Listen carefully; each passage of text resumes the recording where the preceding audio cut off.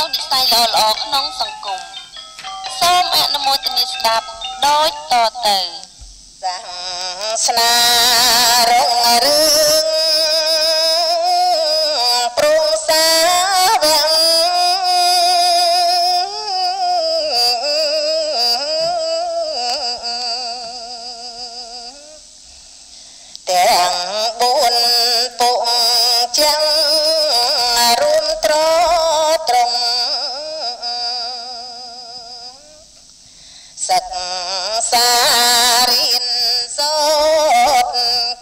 ចាត់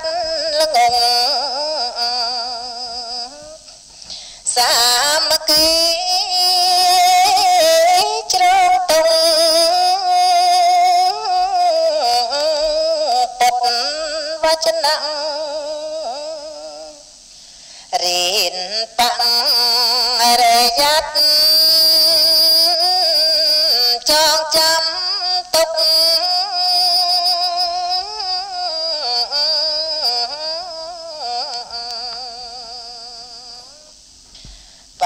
បង្ដបាត់នោមមុខតាមជន់ថ្នាក់រក្សាសេទៀនព្រមសាមថៈភាវៈប្រ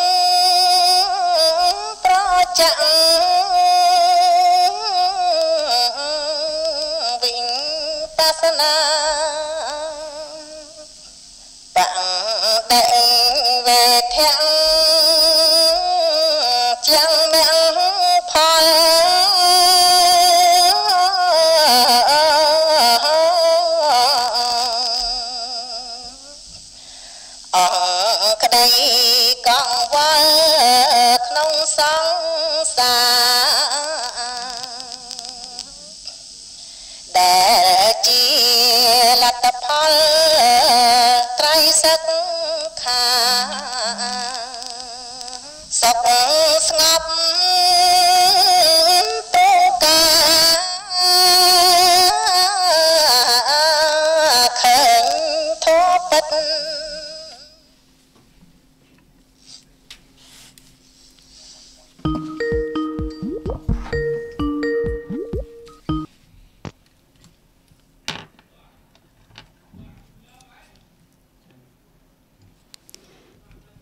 បឋមខ្ញុំបកករណាសូមបងអោនកាយវាចាចិត្តថ្វាយបង្គំចំពោះគុណព្រះរតនត្រ័យដែលជារតនៈដ៏ឧត្តមឧត្តមពងពោះលើសលោកដោយសេចក្តីគោរពនិងដោយសេចក្តីជ្រះថ្លាដល់ក្រៃលែងសូមបងអោនកាយវាចាចិត្តថ្វាយបង្គំចំពោះព្រះសង្ឃសាវកដែលគង់នៅក្នុងសាសនមណ្ឌលបច្ចុប្បន្នសម័យគ្រប់ពុទ្ធព្រះអង្គជាទីគោរពសក្ការៈដ៏ខ្ពង់ខ្ពស់សូមក្រាបថ្វាយបង្គំសម្ដេចព្រះសង្ឃរាជទាំងពីរគណៈជាទីគោរពសក្ការៈ សូមក្រាបថ្វាយបង្គំព្រះគ្រូចាអធិការវត្តចំពៅមាសព្រះគ្រូចាអធិការវត្តនៃគុតវ័នកោទាំងព្រមទាំងព្រះសង្ឃគ្រប់ព្រះអង្គជាទីគោរពសក្ការៈសូមក្រាបថ្វាយបង្គំព្រះគុណម្ចាស់ទាំង3ព្រះអង្គដែលមានប្រវត្តិមាននៅក្នុងបន្ទប់ផ្សាយនៃឱកាសនេះមានព្រះមហាធម្មធរោលងចော့ព្រះមហាជយៈផាន់ឌិតាលៀងសវណ្ណនិងលោកម្ចាស់សុកជីវ័នគណៈសូមថ្វាយបង្គំ សូមគោរពដល់ទូរទស្សនិកជនសិស្សនិកជនគ្រប់រូបដែលបានតាមដានស្ដាប់និងទស្សនាកម្មវិធីស្ត្រីនៃចំណេះដឹងតាមស្ថានីយវិទ្យុគល់ទទឹងក៏ដូចជា តាម page Facebook វត្តចំពៅមាសក្នុងនិងក្រៅប្រទេស ជាទីគោរពថ្ងៃនេះគឺជាថ្ងៃប្រហោះ7រោចខែមិញឆ្នាំជូត ទស័កពុទ្ធសករាជ2564ត្រូវនៅថ្ងៃទី4ខែ2ឆ្នាំ2021កម្មវិធីស្ត្រីនឹងចំណេះដឹងដល់ពេលវេលាដែលត្រូវជួបជាមួយនឹងសាមណជនសាមណជន និងទូរទស្សនិកជន នៅវេលាម៉ោង9ជារៀងរាល់សប្តាហ៍គឺបានរយៈពេល2ថ្ងៃ គឺពីថ្ងៃពុធដល់ថ្ងៃប្រហ័សឥឡូវនេះកម្មវិធីរបស់យើង កំពុងតែ លើកឡើងយកនៅប្រធានបទធរដែលត្រូវសិក្សា នៅក្នុង ការអប់រំកាយវាចាស់ចិត្តដើម្បីនឹងកំណត់ដឹងនៅសេចក្តីទុក្ខនៅក្នុងជីវិតបច្ចុប្បន្ននេះឯងធម៌របស់ព្រះដ៏មានព្រះភិក្ខមានការសម្ដែង មានសេចក្តីល្អិតជ្រាលជ្រៅខ្លាំងនៅក្នុងការសិក្សាលំបាកនៅក្នុងការយល់ហើយ នៅក្នុងការចងចាំហើយនៅក្នុងកិច្ចប្រតិបត្តិនោះទៀតប៉ុន្តែទោះបីយ៉ាងណា លោកអ្នកដែលមានឧបនិស្ស័យនៅក្នុងការសន្សំមកចាស់ខ្លាក៏នៅតែមានឱកាសនៅក្នុងការដែលសិក្សារៀនសូត្រចងចាំហើយយកមកប្រតិបត្តិនៅក្នុងជីវិតប្រចាំថ្ងៃ ពីព្រោះថានៅក្នុងសម័យកាលឥឡូវនេះក៏នៅតែមានអ្នកបានសម្រេចធរជាន់ខ្ពស់មានការ ប្រតិបត្តិទៅ អាចបានសម្រេចមគ្គផលបាននៅឡើយអញ្ចឹងនៅក្នុងបានអត្តភាពកើតមកជាមនុស្សនេះហើយគឺជាប្រការដែលមានបនមានសំណាង មានព្រេងមានវាសនាដែលយើង បានកសាង ពីអតីតទុកមកហើយនោះទើបបានយើងបានកើតមកជាមនុស្ស ដែលមានកាយសម្បទាគ្រប់គ្រាន់ដែលមានសតិបញ្ញាស្មារតីអាចស្ដាប់អាចចងចាំអាចយល់បាននៅរឿងរ៉ាវនៅក្នុងអឺព្រះធម៌បានកណាឲ្យតែយើងមានសេចក្តីចេះថ្លានៅក្នុងការសិក្សា នៅក្នុងការរៀនសូត្រចងចាំទុកហើយប្រតិបត្តិផងដែរបើសិនបើយើងគ្រាន់តែចេះតែអឺ ធ្វើទាន ត្រឹមតែការរក្សាសិលត្រឹមតែប៉ុណ្ណេះឬក៏ចម្រើន សមាធិភាវនាខ្លះខ្លះអាចបានប៉ុន្តែมันអាចរំដោះខ្លួនឲ្យរួចផុតចាកទុកទេប្រសិនបើយើងមិនបន្ថែមនៅកុសលធម៌ផ្នែកវិបស្សនា ផ្នែកចម្រើននៅបញ្ញានោះទេ គឺថាកុសលធម៌ទាំងអស់វាប្រព្រឹត្តទៅនៅក្នុងវត្តដាក់នឹងឯងគឺជាកុសលនៅក្នុងលោកី លុះត្រាតែយើងមកសិក្សា នៅធម៌ពិតធម៌មែនជាបរមត្តធម៌ហើយ កំណត់ទុកណាលះបង់ចោលនៅតណ្ហាសេចក្តីប្រាថ្នាគ្រប់បែបយ៉ាង ហើយមកកំណត់ទុកនៅបរមត្តធម៌ដែលជាបច្ចុប្បន្នមិនមែនជាសត្វមិនមែនបុគ្គលមិនមែនជាយើងមិនមែនជាគេដល់នៅការ អស់ទៅសូន្យទៅមិនទៀងជាទុកជាអនត្តានេះឯងទើបអាចរំដោះខ្លួនរួចផុតចាកទុកបានដូច្នេះថ្ងៃនេះកម្មវិធីរបស់យើងបានលើកយកប្រធានបទបន្តអំពីម្សិលមិញតកតងទៅនឹងការសិក្សានៅក្នុងខណ្ឌ5កណានៅក្នុងយើងសិក្សាអំពីរូបខណ្ឌពីម្សិលមិញនេះពីសប្តាហ៍មុនមុនក៏និយាយតកតងទៅនឹងក្នុងខណ្ឌ5នឹងដែរដែលជា អារម្មណ៍របស់វិបស្សនាឬក៏ថាជាភូមិរបស់បញ្ញាភូមិរបស់វិបស្សនាប៉ុន្តែលោកម្ចាស់ធម្មធរោលោកមានព្រះធរដេកាថាប្រើថាអារម្មណ៍របស់វិបស្សនាអញ្ចេះស្រួលងាយ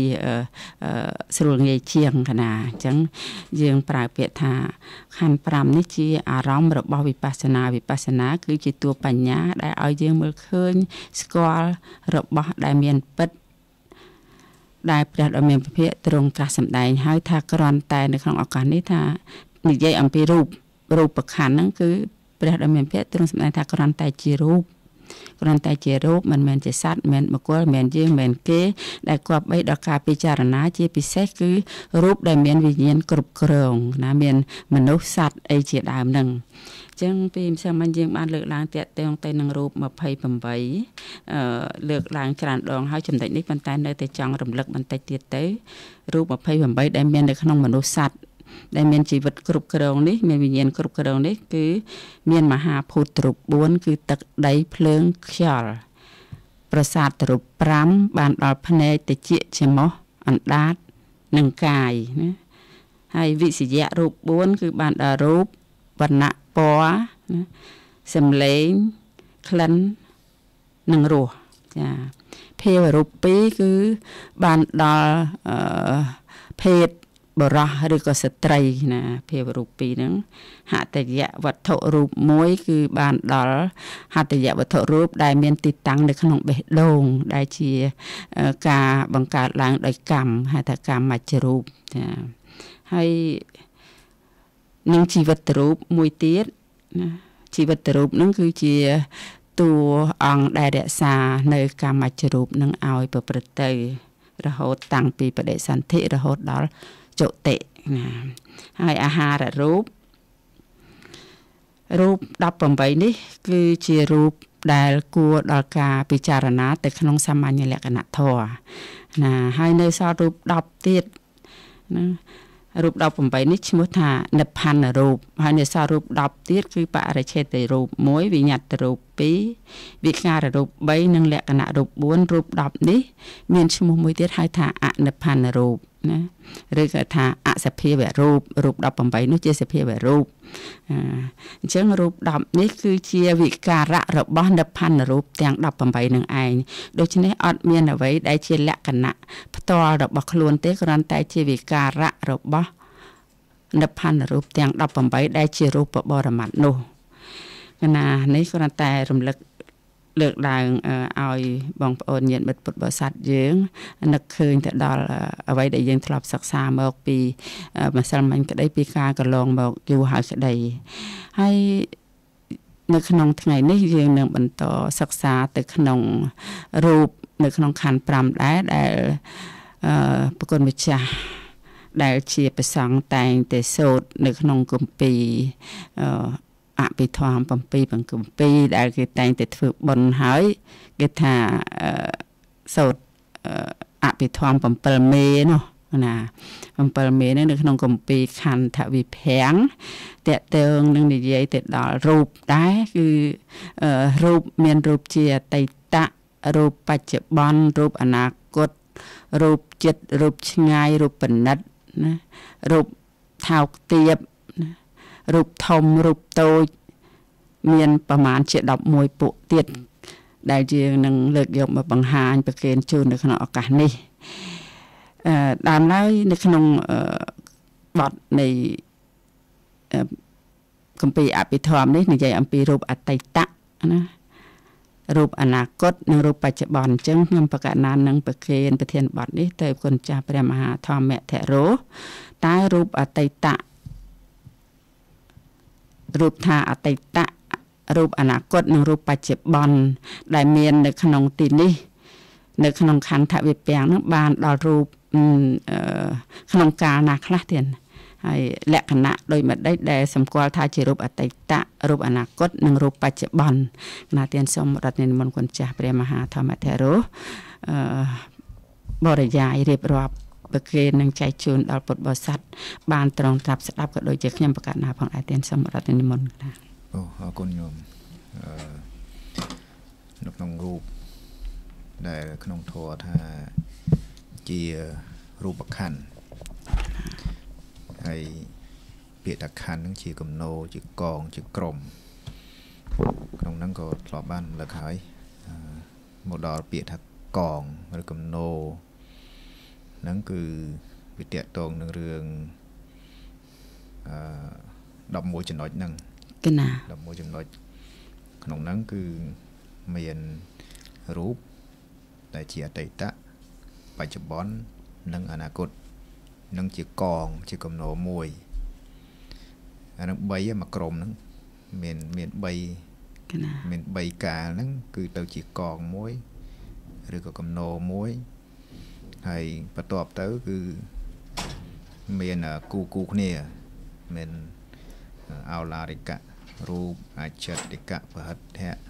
និងគូមួយទៅអោឡារិកៈសុខុមគូមួយទៅហើយហើយណបណៃតៈជាគូមួយទៀតនិងទូរៈសន្តិកេទូរេសន្តិកេ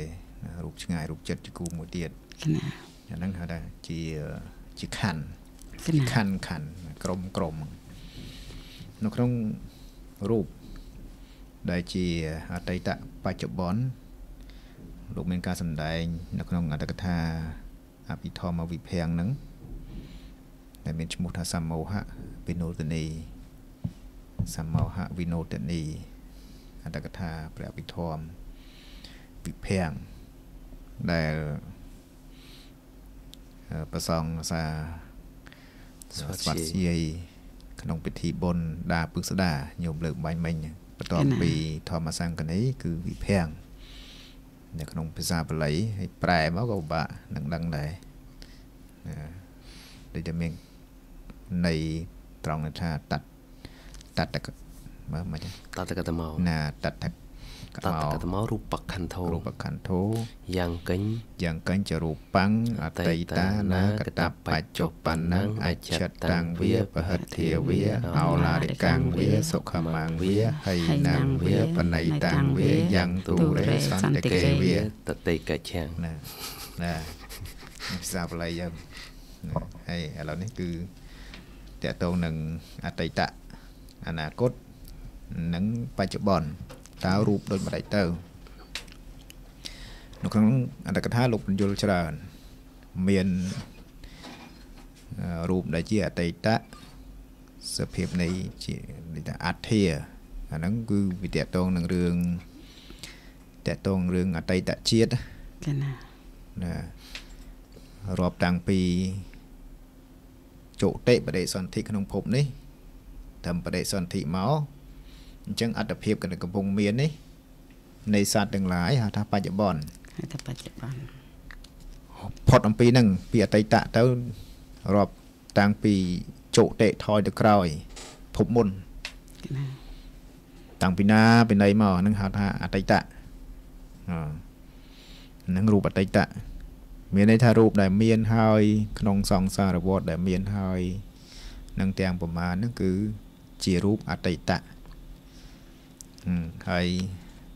រូបបច្ចុប្បន្នគឺក្នុងអត្តភាពហ្នឹងរាប់អំពីតាំងពីបដិសន្ធិរហូតដល់បរហូតមកដល់បច្ចុប្បន្នហើយតទៅអនាគតទៀតតទៅអនាគតនឹងរហូតដល់ចុតិនឹងហៅថាអត្ធាគឺយកយកធំហ្មងយកសំបីតែរូបអត្តអត្តភាពនេះដែលរលត់ទៅហើយនឹង វ័យក្មេងណាយើងមើលអឺវ័យកុមារវ័យជំទង់វ័យអឺពាក់កណ្ដាលហើយវ័យអឺរៀងជ្រេបន្តិចដែលបាត់បង់ទៅហើយហ្នឹងក៏រាប់ថាជារូបបច្ចុប្បន្នដែរព្រោះតកតងនឹងអំឡុងនៃការរាប់ហ្នឹងគឺក្នុងក្នុងហ្នឹងវាតកតងភពឆ្លងភព តកតងបច្ចុប្បន្នភពហៅថាបច្ចុប្បន្នរូបបច្ចុប្បន្នហឹមអតីតភពដែលកន្លងមកហើយហៅថារូបជាអតីតហើយរូបដែលជាអនាគតគឺរូបដែលនឹងមាន បន្តអំពីចោតិនៃអត្តភាពរបស់សត្វទាំងឡាយគឺបដិសន្ធិតទៅអនាគតជាតិហូហែរហូតរាប់ប្រមាណមិនបាននឹងហៅថា រូបអនាគតអញ្ចឹងវាតកតងភពជាតិកំណើតមួយមួយបច្ចុប្បន្នភពហ្នឹងរូបដែលមានក្នុងបច្ចុប្បន្នភពហ្នឹងហៅថារូបជាបច្ចុប្បន្នរូបដែលអតីតភពដែលកន្លងមកហើយអាហ្នឹងហៅថារូបដែលជាអតីតរូបដែលនឹងមានក្នុងអនាគតក្នុងអនាគតភពនឹងហៅថារូបដែលជាអនាគតចាណាអញ្ចឹង ធម្មតាវាមានអញ្ចឹងវាមានបច្ចុប្បន្នហ្នឹងវាមានអតីតវាមានអនាគតដែលជាគំនោនៃរូបទាំងអស់នោះវាមានការកើតហើយក៏វាវិនិច្ឆ័យក្នុងអតីតទៅហើយសូម្បីតែរូបបច្ចុប្បន្នវាមានហើយក៏វិនិច្ឆ័យក្នុងបច្ចុប្បន្នហ្នឹងគឺសំដៅដល់បច្ចុប្បន្នភពប៉ុន្តែរាប់ថារូបបច្ចុប្បន្នដែរអនាគតក៏ដូចគ្នាដែរ ណាមានការកើតមានការតាំងនៅ មានការរលត់ទៅហើយម្យ៉ាងទៀតលោករាប់ដោយតកតងខណៈ3ខណៈ3ហ្នឹងគឺការកើតឡើងការកើតឡើងការតាំងនៅនិងការរលត់ទៅតែភាសាធម៌ហៅថាថេតិកណៈអានេះឧបាទកណៈ ថេតិកណៈនិងភង្គកណៈ3គណៈហ្នឹង3គណៈហ្នឹងដែលកើតឡើងហើយមានន័យថាវាមានហើយអញ្ចឹងឧបាទៈថេតិនៅបាទៈកើតឡើងថេតិតាំងនៅភង្គៈរលត់ទៅ ដែលវាមានហើយមានថា3គណៈហ្នឹងដែលវាមានហើយអាហ្នឹងលោកហៅថារូបអតីតដែរណា រូបរូបអតីតដែរហហើយ3ខណៈហ្នឹងដែលកំពុងតែមាននឹងលោកហៅថាបច្ចុប្បន្នរូបបច្ចុប្បន្នអា3ខណៈហ្នឹងឧបាទៈថេតិភង្គៈដែលនឹងវានឹងមាន ក្នុងការអនាគតអានឹងហៅថារូបដែលជាអនាគតអានោះរបៀបរាប់ប្រៀបធៀបនឹងមួយទៀតតកតងនឹងសម័យ តកតងនឹងសម័យកាលសម័យដូចយើងបច្ចុប្បន្ននេះនេះសម័យសម័យគឺសំដៅដល់បច្ចុប្បន្ននេះកំពុងតែកំពុងតែប្រព្រឹត្តទៅពេលនេះស្មើណាម៉ោង9ម៉ោង9ខ្ញុំផ្សាយកម្មវិធីស្ត្រីនឹងចំណេះដឹងផ្សាយម៉ោង9ដល់ម៉ោង10ចេញពីវត្តសំពៅមាសតាមរយៈសម្លេងបធរវត្តសំពៅមាសទៅកាន់វិទ្យុ អឺគុលតតឹងណា FM 8ប្រហែល98 98ខ្ញុំហ្នឹងហើយ97.80 97.80ប៉ុន្តែនៅក្នុងនេះអសររត់នេះមានតា là 97 97.8ចឹងហ្នឹងហើយម៉ោងហ្នឹងណាសន្មតថាពេលព្រឹកហ៎អញ្ចឹងពេលព្រឹកបច្ចុប្បន្នហើយបន្ទាប់ទៅថ្ងៃត្រង់ថ្ងៃជ្រេអីអាហ្នឹងវានឹងមាន ក្នុងក្នុងពេលអឺ កាលសម័យបន្តិចទៀតសម័យកាលបន្តិចទៀតអាហ្នឹងគឺជាកាលមួយសម័យមួយដែលបញ្ជាក់អំពីអតីតបច្ចុប្បន្ននិងអនាគតដែរ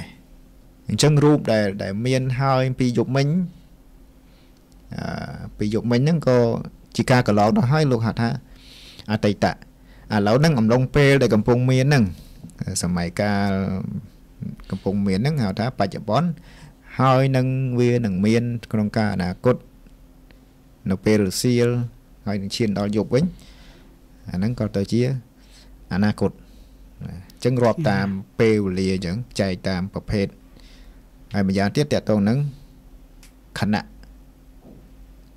ហៅថាអឺរូបដែលកំពុងតែមានអាហ្នឹងខណៈបច្ចុប្បន្នខណៈហ្នឹងគឺគឺ ពេលបច្ចុប្បន្នហ្នឹងហ្មងតកតងនឹងខណៈដែលកើតឡើងនៃរូបបច្ចុប្បន្នហ្នឹងហៅថារូបដែលបច្ចុប្បន្នហើយរូបដែលកន្លងទៅថ្មីថ្មីហ្នឹងកើតហើយរលត់កើតហើយរលត់ទៅថ្មីថ្មីហ្នឹងអាហ្នឹងគឺជារូបអតីតព្រោះវារលត់ទៅហើយហើយនឹងវានឹងមាននៅក្នុងអនាគតគឺហៅថារូបដែលជា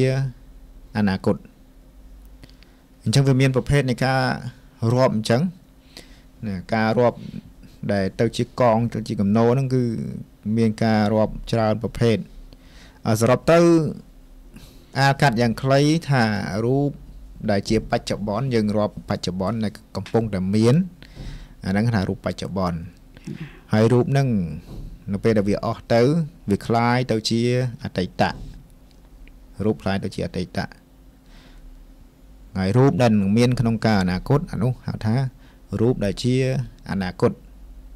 អញ្ចឹងមានន័យខ្លីប៉ុណ្ណឹងឯងយើងរូបរួមមកយើងមើលនៅក្នុងអត្តកថាហ្នឹងគឺមានច្រើនបញ្យលច្រើនស្អីស្កាសច្រើនណាមើលទៅច្រើនតំពលក្ខណៈនៃការបញ្យលហ្នឹងប៉ុន្តែយើងឲ្យយល់ថាងាយទេរបស់ណាដែលដែលមានហើយវារលត់ទៅ អាហ្នឹងហៅថាអតីតបច្ចុប្បន្នដែលកំពុងតែមានហ្នឹងអាហ្នឹងគឺជាបច្ចុប្បន្នបើរូបគឺជារូបបច្ចុប្បន្នហើយនឹងរូបហ្នឹង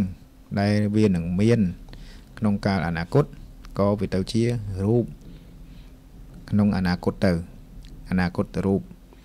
អតីតរូបបច្ចុប្បន្នរូបណាអញ្ចឹងរួមមក3 3នឹងទៅជាកំណោមួយហៅថាខណ្ឌហើយនៅខណ្ឌដតីច្រើនទៀតមាន អច្ឆតៈប្រតិប៉ុន្តែនិយាយពីរូបនៃបច្ចុប្បន្នអតីតអនាគតហ្នឹងរូបហ្នឹងវាមានអញ្ចឹងដែលជាខណ្ឌហ្នឹងគឺជាវារាប់ថាជាកំណោអញ្ចឹងដែលក្នុងធម៌បងសំដែងថាជាទុកមកអំពីវាមានការកើតនិងរលត់ទៅណាបើអត់មានការកើតរលត់មាននពៀនណាគេណានពៀនហ្នឹងគឺសុខណាដែលរូបដែលកើតមានការកើតរលត់ហ្នឹងគឺវាទុក ដោយអំណាចនៃការប្រែប្រួលយ៉ាងហ្នឹងវាមានហើយវាតាំងនៅ ហើយក៏វារលត់ទៅព្រោះធម៌ទាំងអស់នោះវាជាសង្កតធម៌ធម៌ដែលកើតអំពីបច្ច័យតតែងនៅពេលណាដែលវាតាំងនៅក៏ដោយអំណាចនៃបច្ច័យហ្នឹងវានៅឲ្យនៅព្រោះវាអត់មានតួខ្លួនវាទេណាព្រោះរូបហ្នឹងវាមានសមុទ្ឋានវាផ្សេងផ្សេងមក4សមុទ្ឋានវាមានបច្ច័យមានការតាក់តែងអំពីបច្ច័យហ្នឹងអញ្ចឹងវាឲ្យកើតឡើងព្រោះបច្ច័យឲ្យកើតឡើងតាំងនៅហើយនឹងក៏រលត់ទៅព្រោះអស់ហេតុអស់បច្ច័យរបស់វាអញ្ចឹងអត់មានតួខ្លួនវា សម្រាប់កើតនៅដដែលទេដែលក្នុងធម៌ហៅថាជាទុកជាទុកមានការប្រែប្រួលទៅជាអនិច្ចំហើយនឹងមិនអាចនឹងខាត់តាមអំណាចបុគ្គលណា ដែលនឹងខាត់ថាឲ្យត្រូវតែឲ្យនៅចេះត្រូវនៅចុះតាមការបង្គាប់បញ្ជាគឺអត់បានទេ នឹងហៅថាអនត្តា មិនស្ថិតក្រោមអំណាចនៃការបង្គាប់បញ្ជាបាននឹងមានការប្រែប្រួលជាទុកនិងអនត្តានឹងធម៌ទាំងអស់នោះគឺសរុបទៅថាជាទុកអាចថាជាទុកក៏សច្ចៈក៏ទៅបានដែរព្រោះធម៌ហ្នឹងគឺជាសច្ចៈមួយ ដែលបងសំដែងថាទុកក៏សច្ចៈជាទុកដែលគួរកំណត់ដឹងណាតកតងនឹងបញ្ញាការអប់រំចម្រើនបញ្ញាហ្នឹងគឺ ធម៌ដែលគួរកំណត់ដឹងណាប៉ុន្តែកំណត់ដឹងបានជាទូទៅវាតលតែចេញអំពីការកើតទុកជួនកាលយើងអត់បានកើតទុកវាវាលំបាកក្នុងការកំណត់ដឹងដែរហើយសំដែងអំពីទុកបើការកើតរលត់ធម្មតាព្រោះធម្មតាការកំណត់បញ្ញាកំណត់ដឹងនៅទុកហ្នឹងគឺ មិនមែនជាការភ័យខ្លាចតក់ស្លុតអីទេ កំណត់ដឹងដោយបញ្ញា គឺថាវាដឹងថានឹងជាទុកព្រោះវាមិនអាចនឹងតាំងនៅបានធរហ្នឹងប៉ុន្តែពេលដែលព្រះអង្គសម្ដែង ជាទូទៅវាតលតែអ្នកមានបញ្ហាមានការកើតទុកដឹងថាហ្នឹងវាវាមានការនាំឲ្យមានការប្រកាន់ហួងហែងនាំឲ្យមានការទុកកង្វល់ នាំឲ្យមានការខ្វាយខ្វល់ក្នុងការថែរក្សាជំងឺដំកាត់អីផ្សេងផ្សេងទៅ ជាអារម្មណ៍មួយនាំឲ្យមនុស្សកើតទុកជាទូទៅគឺងាយងាយដឹងងាយយល់ដោយអំណាចនៃការកើតទុកទៅវិញទេហើយសម្គាល់ថានឹងជាទុករួចឲ្យបងឲ្យឲ្យឲ្យមើលឃើញថាវាមានហើយវានាំមកនៅបញ្ហាអញ្ចឹងខណ្ឌហ្នឹងរូបខណ្ឌហ្នឹងជាសម្បុកនៃរោគអញ្ចឹង អាហ្នឹងជាអារម្មណ៍មួយ ដើម្បីបញ្ជាក់ថា ជាកង្វល់ដោយការកើតទុកតាមផ្លូវចិត្តណាតាមពិតទៅធម្មតា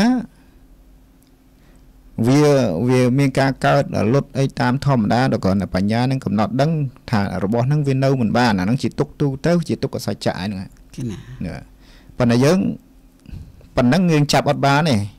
វាទាល់តែផ្ដើមចេញពីដំបូងអំពី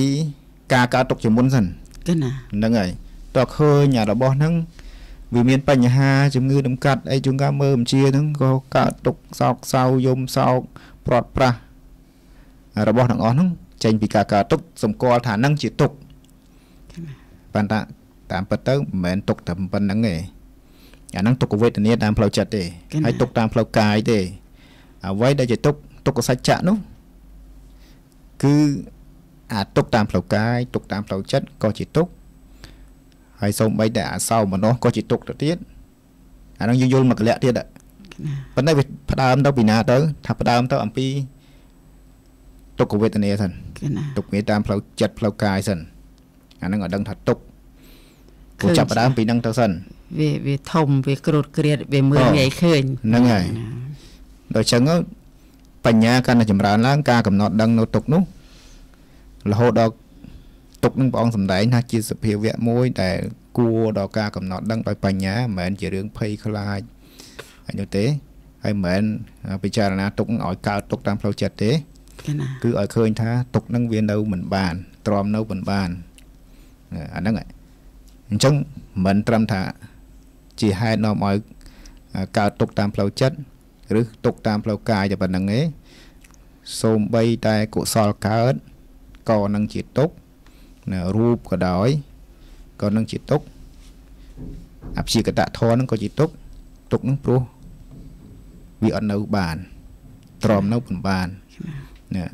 អានឹងជាការគួរដល់ការកំណត់ដឹងដោយបញ្ញាកណាព្រោះសរុបទៅអង្គធរនៃទុក្ខសច្ចៈហ្នឹងគឺលោកយៈទាំងអស់ទាំងរូប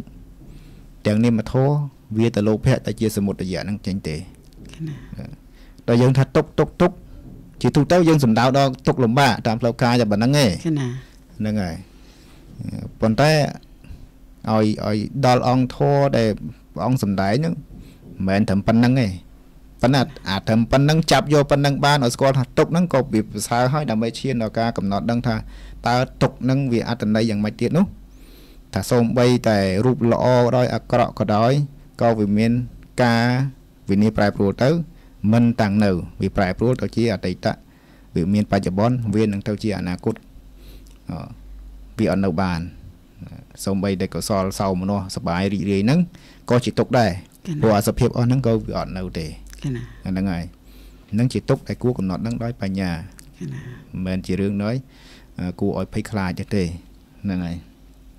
នឹងឲ្យចូលរួមប៉ុណ្ណឹងហើយតកតងនឹងរូបដែលជាអតីតបច្ចុប្បន្ននិងអនាគត ហ្នឹងហើយជូនញោមមិញកណាកណាទានសូមអរគុណការចូលរួមរបស់គុណចាស់ព្រះមហាធម្មធរោបានលើកឡើងតកតងនឹងសេចក្តីដែលមាននៅក្នុងអត្ថកថាបញ្ជលតកតងទៅនឹងរូបអតីតបច្ចុប្បន្ននិងអនាគតតាមខ្ញុំកណាស្ដាប់ពីគុណចាស់ចាប់បានតកតងទៅនឹងអឺរូបដែល យើងបានរៀបរាប់ខាងដើមតកតងទៅនឹងរូប28ហ្នឹងណារូប28ហ្នឹងគឺថាវាមានរូបអតីតបច្ចុប្បន្ននិងអនាគតអញ្ចឹងរូបទាំងអស់ហ្នឹងរូប18ដែលគួរដល់ការពិចារណាដើម្បីឲ្យកើតបញ្ញាហើយដើម្បីកំណត់ទុកនៅទុក្ខអរិយសច្ចៈដែលគុណចាស់បានលើកឡើងហ្នឹង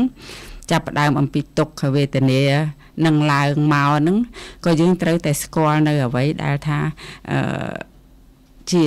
ជាអង្គធរពិតប្រកបដើម្បីបានធ្វើការពិចារណាហើយ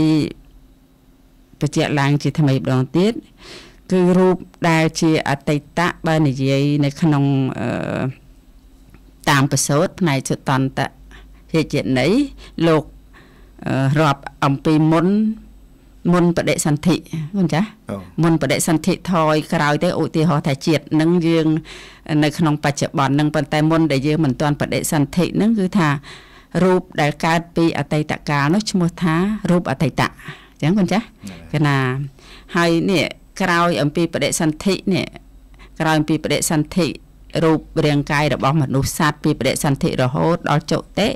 អានេះឈ្មោះថាជារូបបច្ចុប្បន្ន កណាហើយក្រោយអំពីចុតិក្រោយអំពីចុតិនេះជីវិតយើងនេះចុតិទៅអនាគតខាងមុខទៅទៅបដិសន្ធិថ្មីរូបដែលមិនទាន់មកដល់នោះណារូបដែលមិនទាន់មកដល់មិនទាន់កើតឡើងមិនទាន់កពូនឡើងមិនទាន់ទេចម្រើនធំធាត់នៅពីមុខចុតិនោះណាអានឹងឈ្មោះថាជារូបអនាគតអញ្ចា កណានឹងបញ្ជាក់ណា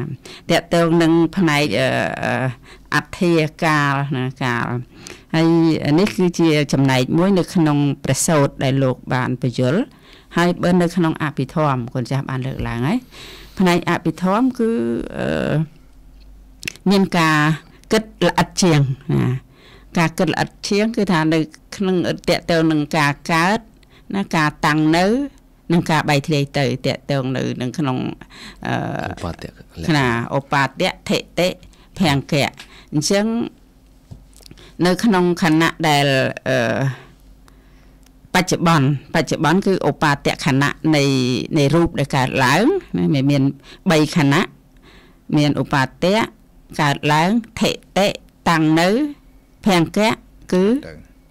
បែកធ្លាយទៅ នៅក្នុង3ខណៈនេះឈ្មោះថាបច្ចុប្បន្ននៅ ខាងមុខឧបាទៈបច្ចុប្បន្នហ្នឹងគឺជាអតីតណាដូចគ្នាដែរបើនិយាយយើងនិយាយរាប់ទៅវាវាមិនជាខុសគ្នាប្រហែលទេគ្រាន់ថាអឺវាល្អិតជាងណាមុនមុនឧបាទៈហ្នឹងគឺការដែលរលត់ទៅ នៅក្នុងអឺខណៈចិត្តមុនមុននោះឈ្មោះថាជាអតីតៈ ហើយបានមកបច្ចុប្បន្នឧបាទៈធិតិភង្គៈហើយនៅពីមុខភង្គៈហ្នឹងឧបាទៈដែលបំរុងនឹងកើតបំរុងនឹងអឺធ្វើឲ្យជាក់ច្បាស់ឡើងហ្នឹងគឺឈ្មោះថាអនាគតនេះគឺជាសង្ខេបឲ្យខ្លីមកដើម្បីងាយយល់ដល់បងប្អូនញាតិមិត្តលោកអ្នកដែលស្ដាប់ដែលយើងធ្លាប់បានស្ដាប់លោកម្ចាស់សំដែងស្វាត់ជាយនៅក្នុងកម្ពីអភិធម្មហ្នឹងគឺ ស្ដាប់បានប៉ុន្តែមិនដឹងយល់សេចក្តីនឹងថាម៉េចខ្ញុំកណានៅចាំច្បាស់លោកគ្រូរុសិផាតគាត់គាត់លើកឡើងថាលោកសំដែងជាភាសាខ្មែរសោះស្ដាប់1ម៉ោងកន្លះប៉ុន្តែ ស្ដាប់អត់បានមិនដឹងថាម៉េចណាអញ្ចឹងគាត់ក៏ខំស្វះស្វែងរកដើម្បីដើររករៀនធម៌អភិធម្មនឹងកណាអញ្ចឹងឥឡូវនេះខ្ញុំកណានឹងគ្រាន់តែបញ្ជាក់នៅអ្វីដែលសេចក្តីលោកម្ចាស់លើកឡើងនៅក្នុងប្រធានបទនេះប្រហែលប៉ុណ្ណេះឥឡូវនេះខ្ញុំកណានឹងប្រគិនធានបទនេះបន្តទៅគុណចាស់ព្រះមហាជយបណ្ឌិតោដើម្បីលើកឡើងបន្ថែមទៀតពីព្រោះថាសេចក្តីប៉ុណ្ណឹងមិនទាន់អស់សេចក្តីនេះឡើយទេនៅសេចក្តីជាច្រើនទៀតដែលព្រះដ៏មានពាក្យទ្រង់ត្រាស់សម្ដែងមកហ្នឹងដើម្បីឲ្យយើងធ្វើការពិចារណាហើយកំចាត់បងនៅហៅថាតណ្ហាឧបាទានដែលកើតមាននៅក្នុងរូបនោះថាជាយើងនេះប៉ុន្តែឥឡូវនេះព្រះអង្គថាគ្រាន់តែជារូបគឺជាអព្យាកតធរគឺជាធរដែលគួរកំណត់ដឹងកណាឥឡូវសូមរត់និមន្តគុណចាស់បាទសាធុយើងត្រូវកំណត់ដឹង នៅក្នុងរូបហ្នឹងអឺមិញហ្នឹងយើងនិយាយពីរូបជាតៃតៈបច្ចុប្បន្ននិងអនាគតកណាណារូបសំដៅទៅលើមហាពុទ្ធរូប4និងឧបាទេយរូបដែលអាស្រ័យនៅក្នុងមហាពុទ្ធរូបហ្នឹងកណាណាគឺទោះបីជាកន្លងទៅហើយក្តីបីបច្ចុប្បន្នក្តីឬក៏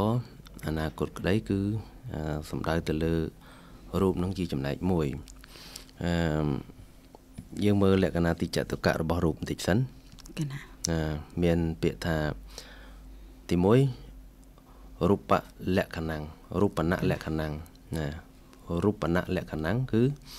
រូបមានការបែកធ្លាយជាលក្ខណៈណាអាហ្នឹងមានការបែកធ្លាយមានការបែកធ្លាយវាសមនឹងពាក្យអត្ថន័យរបស់រូបដែលយើងលើកម្សិលមិញថាវិនិច្ឆ័យទៅដោយការដែលឧបសគ្គទាំងឡាយមានតិចនិងក្តៅជាដើម ហេតុតែកថាលោកពយល់ថារូបដែលមានអត្ថាវិនិច្ឆ័យហ្នឹងគឺដោយតិចដោយក្តៅកណា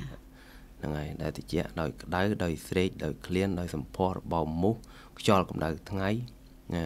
សត្វលូនសត្វវាជាដើមហើយរូបហ្នឹងវិនិច្ឆ័យដោយខ្លួនឯងទៀតបើមិនវិនិច្ឆ័យដោយសារឧបសគ្គទាំងឡាយដទៃទេ គឺវិនិច្ឆ័យទៅដោយខ្លួនឯងទៀតណា ហើយក្នុងធម៌លោកប្រៀបដូចជាដុំនៃពពុះទឹកតែថាកើតឡើងអញ្ចឹងមកពូជឡើងមកអញ្ចឹងទៅ បានមកសទុះទៅ វាបែកទៅវិញខ្លួនវាទេណារូបហ្នឹងបែកបែកធ្លាយជ្រុះធ្លាក់ណាអញ្ចឹងទៅ គឺវាបែកហើយណារូបហ្នឹងតែប្រៀបដូចជាកន្លែងខ្លះលោកប្រៀបដូចជាចានដូចជាកែវដូចជាភាជនៈអីចឹងទៅវា មានការបែកធ្លាយទៅជាលក្ខណៈហ្នឹងលក្ខណៈរបស់រូប មកពេលទី2ហៅថាវិកិរៈណាវិកិរៈណរសាំងវិកិរណរសាំងណាមានការខ្ចាត់ខ្ចាយណាមានការខ្ចាត់ខ្ចាយឬក៏មានការមិនដឹងអារម្មណ៍ជាកិច្ចហ្នឹងហើយអត់ដឹងរូបហ្នឹងជាសភាពមិនដឹងណាអត់ដឹងរឿងអីទេអឺអ្វីដែលយើងដឹងសពថ្ងៃគឺដឹងដូចថា រមាស់ស្បែកឬក៏ឈឺត្រង់ណាឈឺត្រង់ណា គឺដោយចិត្តដឹងទេតាមពិតរូបហ្នឹងគឺជាធាតមិនដឹងហ្នឹងឯងហ្នឹងហើយហើយកិច្ចរបស់រូបហ្នឹងគឺមិនដឹងអីទេហ្នឹងហើយហើយមួយទៀតអព្យាកតបច្ចុប្បន្នបច្ចុប្បដ្ឋានំណាអព្យាកតបច្ចុប្បដ្ឋានំមានភាពជាអព្យាកតណាជាអាការៈប្រកប ព្យាកតៈហ្នឹងគឺមានន័យថាវាកដាលកដាលវាមិនមិនជាមិនជាអ្នកអឺតែថាមិនជាអ្នកឲ្យទុកឲ្យទោសឬក៏យ៉ាងម៉េចទេគឺនៅកដាលកដាលអញ្ចឹងណាមិនក៏បីពូលជាកុសលឬអកុសលណាมันมันมันអាចចាត់ទឹកថាជាបាបឬជាបុណ្យអីដែលសាររូបហ្នឹងទេណាអញ្ចឹងទោះបីជាមនុស្សកើតមកក្នុងសភាពនៃរូបហ្នឹង អឺអឺ ខ្ពស់ក្តីទៀបក្តីសក្តីខ្មៅក្តីល្អក្តីមិនល្អក្តីអត់មានបាបបុណ្យអីនៅត្រង់ត្រង់រូបនោះទេហ្នឹងហើយណាហើយមួយទៀតលោកថាវិញ្ញាណបតដ្ឋានណាមានវិញ្ញាណនឹងជាបតដ្ឋានណាជាបតដ្ឋានហ្នឹងបានន័យថាជាគ្រឿងទ្រទ្រង់ឬថាជាទីអាស្រ័យចេះក៏បានណាគឺថាមាន រូបហ្នឹងជាទីអាស្រ័យនៃវិញ្ញាណជាទីជ្រកកោនអញ្ចឹងណាជាទីជ្រកកោនជាជំរករបស់ចិត្តហ្នឹងហើយអញ្ចឹងយោងតាមលក្ខណៈតិចតុកៈរបស់រូបហ្នឹងដែលយើងទាំងអស់គ្នាមើលទៅសិក្សាទៅដឹងថារូបហ្នឹងវាមានការបែកធ្លាយជាលក្ខណៈអញ្ចឹងហើយបើយើងមើលតាមអត្ថកថាគ្រាន់ថាក្តៅហ្នឹងគឺលោកសំដៅថា អឺហេតុដែលតិចហ្នឹងតិចព្រោះស្អីធ្លាក់ក្នុងនរកតិចអញ្ចឹងទៅក្តៅក្តៅក្នុងនរកដែលក្តៅមហាមហានរកអញ្ចឹងទៅហើយស្រេកហ្នឹងដូចពួកប្រែតអញ្ចឹងទៅណាអសូរកាយអញ្ចឹងទៅក្លៀនហ្នឹងដូចពួកប្រែតដែលដែលថាអត់បាយអត់ទឹកអីអញ្ចឹងទៅណាសម្ផស្សរបោមូសណាដែលថាចូលមកខំចូលមកកំចាត់វិនិច្ឆ័យ រូបហ្នឹងគឺថាវាវាត្រូវរបួសរបូតរបាញ់រខោករខាលំបាកលំបិនហិនហោចហ្នឹងអាហ្នឹងគឺវិស័យរបស់រូបហ្នឹងវាត្រូវទទួលរងគ្រោះរបួសស្នាមអញ្ចឹងហ្នឹងហើយបើពនុះសោតទេត្រូវសัตว์សាហាវត្រូវអឺសัตว์សัตว์សេរពឹសហើយមកចឹកមកទិញមកខំអញ្ចឹងទៅហើយដោយដោយខ្យល់អានេះថានៅពេលណាដែលខ្យល់បក់បោកត្រូវខ្លាំងទៅ រូបហ្នឹងក៏វាអាចវិនិច្ឆ័យណាកម្ដៅដូចថាត្រូវកម្ដៅថ្ងៃអីទៅណាអាហ្នឹងវាខុសពីអាពាក្យថាក្ដៅនោះនៅកម្ដៅថ្ងៃអីយើងចេញទៅកណ្ដាលថ្ងៃក្ដៅវាត្រូវត្រូវត្រូវថ្ងៃក្ដៅទៅវារុលវាវារោលវាវាចំអិនវាកម្ដៅខ្លាំងទៅវាវិនិច្ឆ័យដល់ស្បែកឬក៏ថ្ងៃដែលក្ដៅខ្លាំងពេកឡើងកម្ដៅខ្លាំងពេកធាតុអាកាសក្ដៅខ្លាំងពេកគឺអាចបណ្ដាលឲ្យស្លាប់ ក៏មានដែរហ្នឹងហើយណាអញ្ចឹងដល់ពេលវេលាមួយទៀតដល់ពេលវេលាមួយដែលអឺពេលកំណត់ណាមួយរូបហ្នឹងគឺត្រូវវិនិច្ឆ័យដោយខ្លួនឯងបើទុកជាមិនបានជួបប្រទះនឹងឧបសគ្គផ្សេងផ្សេងអីក៏ដោយណាហើយនៅមានរឿងច្រើនទៀតដែលរូបនឹងអាចវិនិច្ឆ័យបានគ្រាន់តែដើរដួលគ្រាន់តែគ្រោះថ្នាក់ចរាចរណ៍គ្រាន់តែអីហ្នឹង អាហ្នឹងគឺផុយមែនតែនដល់ការប្រហារអឺហ្នឹងហើយផុយខ្ទប់ច្រមុះអត់ដកដង្ហើមហ្នឹងក៏ក៏ស្លាប់ដែរបាទអញ្ចឹងយោងតាមលក្ខណៈតិចតុកៈរបស់រូបហ្នឹងគឺយើងមើលឃើញថាជាសង្ខារណាដែលប្រជុំតតែងរូបនឹងអត់មានអវ័យដែលមកមួនទេហ្នឹងហើយអ្វីដែលជាសង្ខារបានន័យថា វាប្រជុំគ្នាព្រះនាគកសែនក៏បានប្រៀបធៀបថារូបនឹងនាគកសែននឹងមិនមែននៅត្រង់ណាមួយទេតែដែលមីលិនសួរថាចុះនាគកសែននាគកសែននឹងត្រង់ណាដែលហៅថានាគកសែនគេណា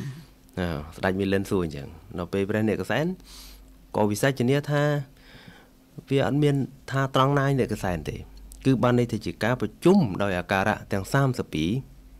មានកេសាលោមានអ្នកខាតន្តាតចោមង្សាំងនហារូអធិអធិមិញ្ចាំងវកੰហរិយ៉ាងយេកណងគឡោមកੰពហកੰពផាសੰអន្តੰអន្តកុណងអតិរិយ៉ាងករិសੰបតੰសិមហੰពពោលោយតੰសេតោមេតោអសុបសាខេឡោសង្គិនិកាលេសកាមុតੰមកតកេមកតលងកាំងអញ្ចឹងអាការៈ32ហ្នឹងហ្នឹងហើយតាំងពីសាច់តាំងពីស្បែកតាំងពីសក់តាំងពីកញ្ចក់តាំងពីរោមតាំងពីឆ្អឹងអីរហូតដល់សពគ្រប់ដីទឹកភ្លើងខ្យល់សរុបមក ជានេកកសែនណាហៅថាផ្គុំបានមកជារូបនេកកសែនប្រៀបបីដូចណាហ្នឹងបានបានបានសួរវិញណាសួរថាអឺណាព្រះអង្គយាងមកហ្នឹងព្រះជាយាងមកទីនេះជិះអីមកជិះអីមកថាជិះរទេះណារទេះហ្នឹងធ្វើពីអីកន្លែងណាដែលហៅថារទេះអញ្ចឹងសួរអញ្ចឹងថារទេះមិនមែនហៅថាត្រង់ណាហៅថារទេះទេ គឺជាបន្សំអឺនៅតពៈសម្ភារៈផ្សេងផ្សេងណាដែលចូលគ្នាមកតាំងពីកង់តាំងពីអឺចតូលតាំងពីអឺស្អីណាដុំតាំងពីអីហ្នឹងណាហើយកពើអីហេសពគ្រប់បែបយ៉ាងកពើអតេះហ្នឹងតាំងពីខ្សែទៀមតាំងពីនឹមតាំងពីជ្រាមអីសពគ្រប់បែបយ៉ាងបន្សំចូលគ្នារវាងរបស់ទាំងអស់ហ្នឹង ហៅថារទេះមួយណាហៅថារទេះមួយណាដល់ពេលព្រះនិកសែនសួរត្រឡប់ទៅព្រះជាអញ្ចឹងហើយព្រះជាក៏ឆ្លើយដោះស្រាយអញ្ចឹងហើយបានព្រះនិកសែនឧបមាមកលោកវិញថាអានឹងក៏ដូចគ្នាដែរនិកសែនមិនមែននៅត្រង់ណាមួយទេគឺជាបន្សំរវាងគេថាខណ្ឌនឹងមានដីទឹកភ្លើងចលអាការៈ32នឹងផ្សំគ្នាបានហៅថានេកសែនគឺជាការសន្មត់ ណាណាសន្មត់ដែលហៅថានេកសែនគឺជាការសន្មត់ដកនេកសែនចេញទៅជាបរមត្តណាទៅជាខណ្ឌណាទៅជារូបខណ្ឌហ្នឹងហើយណារូបបរមត្តហ្នឹងអញ្ចឹងវាអត់មានអ្នកណាអត់មានន័យអីទៀតទេអឺហើយយើងមើលនៅក្នុងកន្លែងមួយកន្លែងកន្លែងបច្ចុប្បន្នរូបបច្ចុប្បន្នឆ្លងកាត់គណៈ3គឺឧបតៈ ថេតិភង្គៈណាកន្លែងនេះលោកថាបើបើយ៉ាងនេះគេហៅថាបច្ចុប្បន្នរូបដោយសារតែមើលឃើញក្នុងគណៈ3នៃចិត្តអញ្ចឹងរូបគ្រាន់តែមួយថ្ងៃមួយថ្ងៃបើយើងគិតថារូបហ្នឹងគ្រាន់តែមួយថ្ងៃមួយថ្ងៃបើកើតរលត់មិនដឹងជាប្រមាណដងចុះយើងឆ្ងល់ថាចុះរូបនៅដដែលហ្នឹង តើថារិគុណលៀងសវណ្ណរិគុណឡុងចក់ឬក៏សុកជីវ័នឬក៏ញោមអុកចន្ទថានៅដដែលមិនក៏ថារូបហ្នឹងកើតរលត់ច្រើនដងរាប់មិនអស់ថាវាកើតរលត់ទៅតាមខណៈចិត្តខណៈចិត្តតែមើលឃើញរូបហើយក៏កន្លងទៅ មើលឃើញរូបហើយក៏កន្លងទៅអាកន្លងទៅដោយខណៈ3ហ្នឹងគឺវាថាវាលឿនរហ័សក្រៃលែងវិជារាបាទចាស់វិជារាហើយវារលត់បាទបែកធ្លាយតែហៅថា រូបដែលកើតឡើងតាមផ្លូវភ្នែកហ្នឹងវាកើតតាមបែបហៅថាចក្ខុវិញ្ញាណណារូបប៉ះជាមួយនឹងចក្ខុឬថាចក្ខុប៉ះជាមួយនឹងរូបហ្នឹងបង្កើតទៅជាចក្ខុវិញ្ញាណធាតុហ្នឹងអញ្ចឹងអាហ្នឹងវាកើតឡើងហើយវារលត់ទៅវាកើតឡើងហើយវារលត់ទៅ វាធ្វើកិច្ចរបស់វាបន្តបន្តរហូតអញ្ចឹងទៅរាប់មិនអស់រាប់មិនអស់អញ្ចឹងបើយោងទៅតាម បច្ចុប្បន្នខណៈបច្ចុប្បន្នហ្នឹងរូបហ្នឹងគឺគ្រាន់តែបច្ចុប្បន្នហ្នឹងគឺកើតរលត់រាប់មិនអស់ទៅហើយបាទអាហ្នឹងយើងសម័យមិនឃើញអតីតដែលថាអត្ធាណាវត្តដធាដែលប្រព្រឹត្តទៅក្នុងវត្តដាក់ដ៏វែងឆ្ងាយយើងមិនអាចមើលដឹងមិនអាចស្មានត្រូវមិនអាចដឹងថាដើមខាងដើមបំផុតនៃសង្សារវត្តនឹងត្រឹមណានោះដែលព្រះមេរុភាពអង្គទ្រង់ត្រាស់សម្ដែងថា អត់មានទីបំផុតណាសង្សារវត្តនឹងមិនមានទីបំផុតដល់ពេលអធិកថាព្រះអង្គសម្ដែងថាអត់មានទីបំផុតខាងដើមដល់ពេលអធិកថាថាអត់មានទីបំផុតខាងចុងថែមទៀតមិនដឹងថាខាងដើមពីតាណាហើយមិនដឹងថាខាងចុងនៃខណ្ឌហ្នឹងត្រឹមណាទេហ្នឹងហើយអញ្ចឹងហើយអឺគ្រាន់តែអតីតហ្នឹងយើងសម័យមិនដឹងទៅចោះថា ថាបញ្ញារបស់យើងវាអន់វាវាខ្សោយវាវាតូចយើងសម័យមិនឃើញថាអតីតខណ្ឌរបស់យើងហ្នឹងវាយ៉ាងម៉េចកើតនៅក្នុងទីណាទីណាខ្លះប្រមាណជាតិប្រមាណជាតិខ្លះជាអនេកជាតិហ្នឹងគឺមើលមិនដឹងទេដឹងមិនដល់ទេប៉ុន្តែសូម្បីតែបច្ចុប្បន្នហ្នឹងក៏យើងរាប់ភ្លេចដែររាប់មិនអស់ដែរបើតាមរយៈ បច្ចុប្បន្នដែលថារូបកើតហើយរលត់កើតហើយរលត់តាមចក្ខុវិញ្ញាណចក្ខុវិញ្ញាណធាតុហ្នឹងដែលកើតឡើងហ្នឹងមើលឃើញហើយកោកន្លងទៅមើលឃើញហើយតាំងនៅរលត់ទៅមើលឃើញហើយតាំងនៅរលត់ទៅ តាមរយៈខណៈទាំង3ដែលលឿនរហ័សក្រៃលែងហ្នឹងគឺអឺมันអាចចាប់រូបណាមួយថាមកធ្វើជារបស់ខ្លួនបានទេហ្នឹងហើយហើយដល់ទៅជំរោគពិតប្រកបដែលថា ទីពឹងទីអាងពិតប្រកបនៅលើរូបនេះគឺរោគទីពឹងមិនបានទេពីព្រោះវាជាបន្សំនៃធាតុដីទឹកភ្លើងខ្យល់វាអាចនឹងប្រែប្រួលគ្រប់ពេល វាអាចនឹងវបលាស់គ្រប់ពេល វាអាចទៅជាណាខ្លះគ្រាន់តែខ្យល់ចាប់នេះតែពេលថាវិញ្ញាណដល់ខ្យល់គ្រាន់តែខ្យល់កោក៏ស្លាប់ដែរអូអញ្ចឹងអញ្ចឹងរូបហ្នឹងគឺมันអាចមកមួនបានទេអាហ្នឹងពាក្យថាសង្ខារគឺបានន័យថាប្រជុំតាក់តែង ព្រមធ្វើមកអញ្ចឹងទេណាអដូចយើងអឺកលេចទៅមើលរបស់ដែលពឹងគ្នា ដូចជាគ្រឿងអេឡិចត្រូនិកទាំងអស់នៅក្នុងបន្ទប់ផ្សាយអឺរបស់ទាំងអស់នោះវាមានហើយប៉ុន្តែហ៊ានតែដាច់ភ្លើងតែមួយចប់ដាច់ភ្លើងតែមួយចប់ងាត់ឈឹងបាទបើនិយាយនិយាយថាភ្លើងមានហើយប៉ុន្តែបើដាច់អ៊ីនធឺណិតតែមួយចប់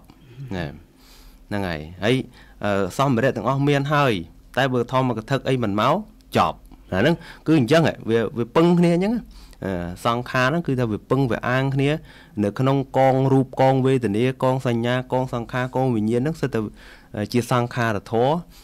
ដែលពឹងអាងលើគ្នាទៅវិញទៅមកបើដាច់អាណាមួយក៏អត់បានដែរហ្នឹងហើយអញ្ចឹងយើងគួរក៏បីសិក្សាទៅលើរូបហ្នឹងថាជារបស់ពុកផុយ ដែលព្រះអង្គសម្ដែងថាជារបស់ពុកផុយហ្នឹងជារបស់ដែលមិនមមួនហ្នឹងគួរដល់ការពិចារណាយកមកធ្វើជាប្រធានបទដើម្បីឲ្យចម្រើនបញ្ញាណាដោយព្រះអង្គសម្ដែងកាយានុបស្សនាសតិប្បដ្ឋានអញ្ចឹងកាយឲ្យឃើញថាកាយគ្រាន់តែជាកាយកុំប្រកាន់កុំជាប់វិបៈកុំមានអភិជាកុំមានទោមនស្ស ទៅក្នុងកាយណាមួយទោះបីកាយខាងក្នុងក្តីទោះបីកាយខាងខាងក្រៅក្តីទោះបីកាយរបស់យើងគេក្តីទោះបីកាយរបស់គេក្តីគឺគ្រាន់តែជាកាយជាទីតាំងនាំឲ្យចម្រើនសតិនិងបញ្ញាទៅជាការត្រឹមត្រូវណាហើយយកវាមកធ្វើជាទីតាំងចម្រើនសតិនិងបញ្ញា ពីព្រោះសតិនិងបញ្ញាហ្នឹងគឺធម៌ហ្នឹងគឺជាគូបដិបៈគ្នារវាងមោហៈជាមួយនឹងមោហៈបើសតិនិងបញ្ញាហ្នឹងខ្សោយ មោហៈហ្នឹងវាឡើងកម្លាំងខ្លាំងអវិជ្ជាហ្នឹងវាឡើងកម្លាំងខ្លាំងហើយបើថាធ្វើមោហៈនឹងឲ្យវាចុះខ្សោយអវិជ្ជានឹងឲ្យវាចុះខ្សោយវាតតែយើងចម្រើនសតិនិងបញ្ញានឹងឲ្យច្រើនណាអាហ្នឹងគឺយើងសិក្សាធម៌ហ្នឹងគឺដើម្បីអញ្ចឹងណាដើម្បីជាប្រយោជន៍ដល់ការចម្រើនសតិនិងបញ្ញាហ្នឹងទើបជាការរស់នៅដោយជីវិតហ្នឹងមានភាពល្អប្រសើរពីព្រោះព្រះអង្គសម្ដែងហើយថាបញ្ញាជីវឹង ជីវិតមាហុសេថាំងនៅក្នុងអលវកៈសូត្រហ្នឹងថាបុគ្គលរស់នៅប្រកបដោយបញ្ញា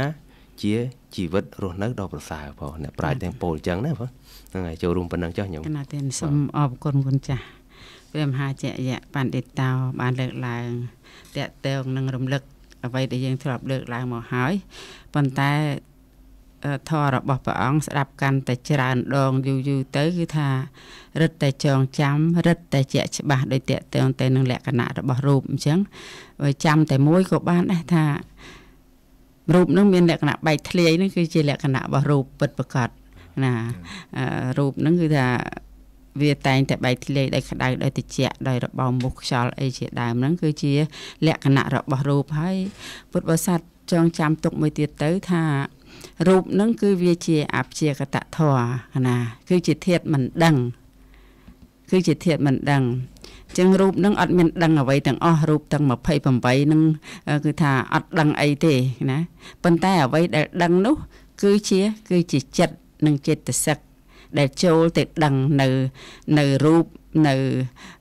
សំឡេងក្លិនរសសម្ផស្សដែលចូលទៅដឹងអារម្មណ៍ផ្សេងផ្សេងហ្នឹងណាគឺជា គឺជាចិត្តតែម្យ៉ាងដែលចូលទៅដឹងចិត្តហ្នឹងមានការដឹងហ្នឹងជាលក្ខណៈណាដឹងថាជាបរមត្តក្តី ដឹងថាជាបញ្ញត្តិក្តី គឺសតតែជាទួចិត្តទាំងអស់ហើយរូបនឹងព្រះអង្គសម្ដែងថាគ្រាន់តែជារូបជាធាតមិនដឹងហើយប៉ុន្តែវាជាអារម្មណ៍របស់ឧបាទាន វាជាអារម្មណ៍របស់ឧបាទាន មានរូបោបាទានជាខាងដើមនេះណារូបោបាទានវេទនូបាទានខណ្ឌគឺថាឧបាទានទាំងខណ្ឌទាំង5ហ្នឹងណាទៅចាប់ប្រកាន់រូបទាំងអស់ហ្នឹងថាជាខ្លួនយើងថាជាខ្លួនយើងថាជាខ្លួនតែជាខ្លួនយើងយើងនៅក្នុងរូបរូបនៅក្នុងខ្លួនយើងអាហ្នឹងការប្រកាន់ហ្នឹងទៅជាសកាយតតិ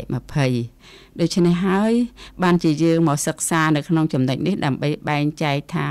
អ្វីណាអ្វីជារូបអ្វីជានាមអ្វីជារូបអ្វីជាវេទនាតណ្ហាវេទនាសញ្ញាសង្ខារវិញ្ញាណនឹងយើងបែងចែកឲ្យច្បាស់ទៅមើលឃើញឲ្យច្បាស់ទៅ ហើយឃើញការកើតឃើញការរលត់របស់អឺរូបនិងនាមនឹងហើយយើងនឹងលះកាត់នៅសេចក្តីប្រកាន់បានមក បានមើលឃើញបានជាច្បាស់ព្រះអរិយបុគ្គលទាំងឡាយលោកបានមើលឃើញបានជាក់ច្បាស់បានកំណត់យកថារូបនឹងផ្សេង នាមនឹងផ្សេងมันបានច្រឡុកច្រឡំគ្នាទេ នៅកន្លែងចំណុចនេះ បាននៅក្នុងវិបស្សនាឈ្មោះថា នាមរូប បបរិឆេទញ្ញាណគឺថាបានបែងចែកនៅរូបផ្សេងឃើញផ្សេងมันគឺថាបំបែករូបបំបែកនាមចេញពីគ្នាទៅញែកធាតញែកធាតទៅឃើញថាជារបស់ពីរផ្សេងគ្នាគ្រាន់តែវាមាន ការប្រស្រ័យគ្នាគុណចាស់បានលើកឡើងតេតងទៅនឹង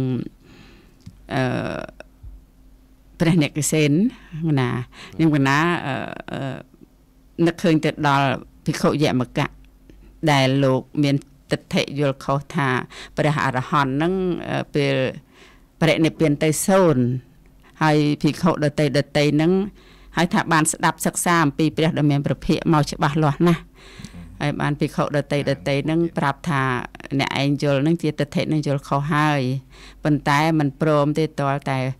ព្រះសិរីបុត្រហៅមកសួរសួរថាឥឡូវអវុសោរូបនឹងជាព្រះអរហន្តឬ ថាមិនមែនទេ វេទនានឹងជាព្រះអរហន្តឬមិនមែនដែរសញ្ញានឹងជាព្រះអរហន្តឬសង្ខារវិញ្ញាណនឹងជាព្រះអរហន្តថាមិនមែនទេអញ្ចឹងបើអ្នកឯងរកព្រះអរហន្តនៅក្នុងបច្ចុប្បន្ននឹងមិនឃើញទេតើមានព្រះអរហន្តឯណាដែលបរិនិព្វាន កន្លែងទៅនឹងភិក្ខុយមកៈហ្នឹងគឺលោកភ្លឺភ្នែកកន្លែងទៅនឹងណាបានថាអូទិដ្ឋិខ្ញុំពីមុនមកគឺថាវា ជាទិដ្ឋិខុសអាក្រក់បានព្រះសារីបុត្របំភ្លឺហ្នឹងគឺក៏បានយល់ច្បាស់នៅក្នុងចំណុចហ្នឹងកណាអញ្ចឹងយើងសិក្សានៅក្នុងចំណុចខណ្ឌ5ហ្នឹងគឺជាប្រការសំខាន់ណាស់ដើម្បីឲ្យយើងស្គាល់ណា ខណ្ឌ5ហ្នឹងដូចយើងបញ្ជាក់ឲ្យថាភ្នែកមហាភូតរូប4ខ្លួនយើងហ្នឹងទឹកដីភ្លើងខ្យល់ហ្នឹងពិសេសប្រកាន់ភ្នែកប្រកាន់តិចប្រកាន់ច្រមុះប្រកាន់អណ្ដាតប្រកាន់កាយហ្នឹងថាជាខ្លួនយើងនឹងឯងណា